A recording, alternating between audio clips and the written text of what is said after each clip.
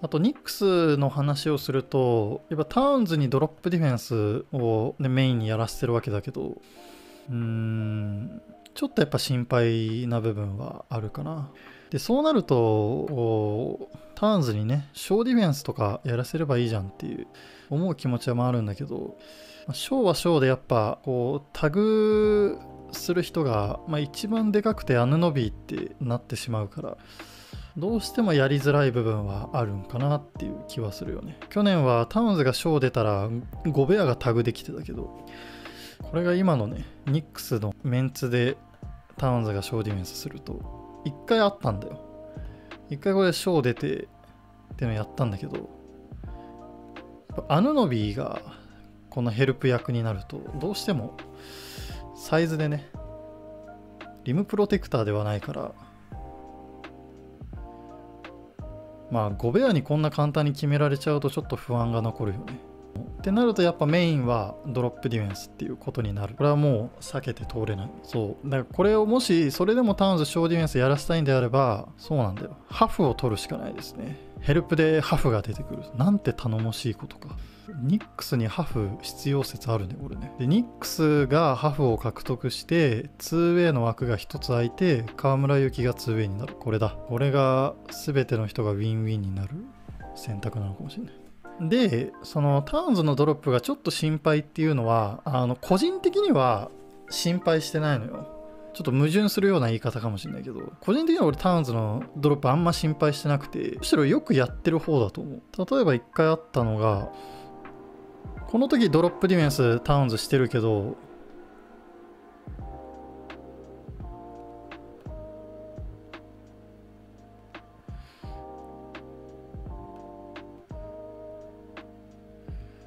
まずは一回ここでドロップディフェンスします。で、ここスイッチディフェンスしました。で、スイッチしながら、ね、スピードのミスマッチあるけど、しっかりガードについていけてるでしょ？まずこれめちゃめちゃグッドディフェンスです。で、その後ボールが展開されて、ニキールがコーナー行こうとしたのを見て、もう一回、あの、リスイッチ、スイッチバックするためにしっかり味方に指示出してスイッチバックしてで気づいたらもう一回ナズ VS タウンズの状態作ってるで今度ナズがもう一回ピックしに行ってナズがポップアウトしたのを見てマ,、えー、マクブライドに対して、ね、レイトスイッチしろっていう指示を出してる。でマクブライドがちょっとその指示聞くの遅れてしまったから逆サイドからローテーションディフェンダーが助けに来て。でローテしたらさ当然こっちが2対1の条件になるから。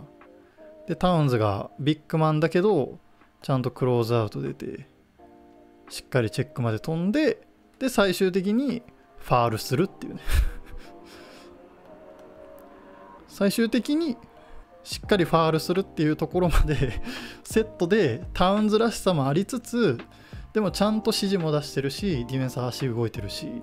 で俺はそんなにあのネガティブには見てない。むしろそもそもシポドがタウンズ獲得した理由ってウルブズでのタウンズのディフェンスをしっかり評価しての獲得だと思うからずっと見張ってたと思うんだよね。自分がウルブズのヘッドコーチの時はタウンズのディフェンスにこう手焼いたけど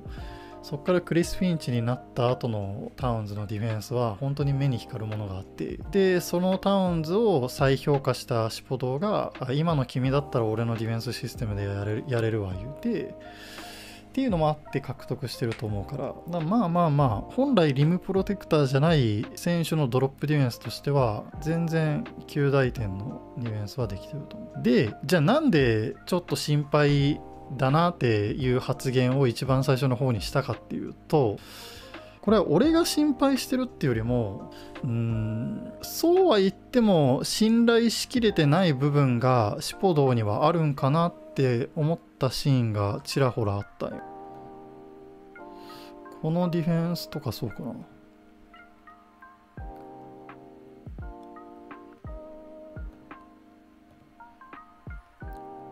これドロップディフェンスしてるんだけどこれジョシュ・ハートがヘルプしに行ってるんだよね。でドロップディフェンスっていろいろ種類があってタウンズのドロップディフェンスは何をやってるかって言ったらスクリーナーよりも1つ2つまあ3つ以上体3個分離れたところでドロップしてるじゃん。でこれを俺の定義ではディープドロップっていう守りになるよね。でディープドロップの時は1人で全てのレイアップに対して対処するっていうのが、まあ、俺のディープドロップの定義になってるね。っていうのを考えた時にこのエドワーズのレイアップもランドルじゃねえタウンズが1人で守んなきゃいけないしナズリーのダイブもタウンズが守んなきゃいけないし周りの選手のカッティングとかリバウンドもタウンズが守んなきゃいけない。そのためにめちゃめちゃ下がって守ってるっていうのがあるからにもかかわらずこれ逆サイドからジョシュ・ハートがカバー来てるんよね。でもこれってさ別にタウンズが守れるじゃんナズリードだ本来来る必要がないけど来ちゃってるで結果これ多分ジョシュ・ハートのファールなんじゃないかなまあ、もしかしたらタウンズのファールになってるかもしれないけど、まあでもタウンズのディフェンスはすごい綺麗だよね。ちゃんと上に飛んで手を挙げてるし。だから本当にめちゃくちゃタウンズのことを信頼してるんであれば、行く必要がないっていうふうに俺は思ってるから、そういう意味でちょっと心配っていう。俺は心配してないんだけど、周りが心配してる可能性っていうのはあるんかなっていう。まあ、って言いながら、あの、なんでヘルプに出たのかっていうのも、まあ、なんとなく予想はつくんよ。でなんでかっていうと、多分だけどマイノットだからなんだよね。こコーナーにいるのマイノットじゃん。だマイノットについてるディフェンダーは、そこまで必要じゃなくても、別にヘルプ行っちゃっていいよみたいな。マイノット別に全然大したことない選手だからっていう、まあ、いわゆるノンシューター扱いしてるから、まあ、多分ここまで出てるよな。まあ、けど、これが5ベアだったら、ここがノンシューターでも、多分クリス・フィンチは出してないんじゃないかなっていう気もするしもう一回だけ確かあったんだけどこれもそうかなタウンズがわー下がって1人で2人見てる状況でアヌノビーがヘルプに出てこれも同じくファールになっちゃってるでしょ？すごいもったいないよね。別に出なくてもいいのに。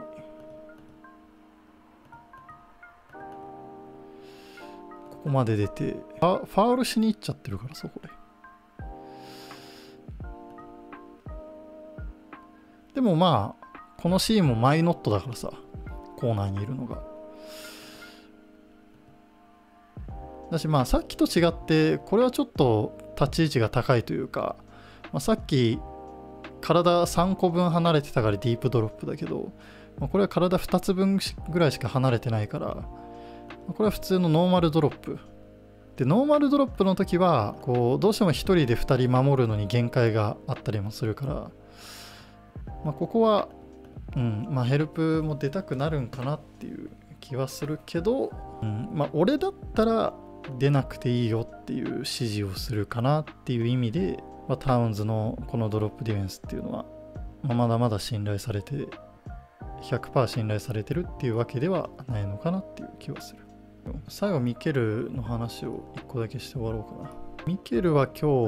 日29分で15点、3アシスト、フィールドゴール11分の6。まあまあまあ、まずまずですね。で、1個いいなって思ったシーンが、このシーンかな。ミケルがコーナーから上がってきて、スクリーンもらってピック使って、シャメットからリターンパスもらって、ゴベアをぶち抜いて、レイアップまで行った。これはなんかさ、ネッツでエースムーブしてたのが生きてるよな。これネッツ挟まずにずっとサンズでやってたら、多分これができる選手にはなってなかったと思う。これはネッツでエースムーブかませるあの1年間があったから、こんぐらい自信持ってね、プレーできてるんだろうなっていう気がする。やっぱ普通の選手は、まあこれはね、当然使うシーンだけど、ここでスイッチされてパス返したら、この後もう何もできなくなっちゃうみたいな選手も多い中で、もう一回もらい直して、ちゃんとミスマッチね、強気に狙えてるっていうのは、まあ、一回エースとしてやった期間が本当に生きてるなっていうね感じはしましたね。これが引き出しになってたら強いね。エゴ強くなってるところやけど。そうね。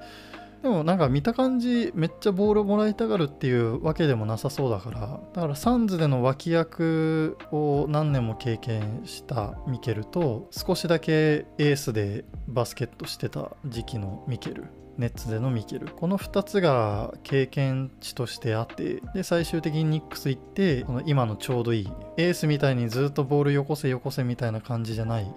普段は脇役みたいにプレイしてるけどでもいざボールが渡るとしっかり強気に攻めれるみたいな。バランスとしてはすごいいいなっていうのはねやっぱ思う。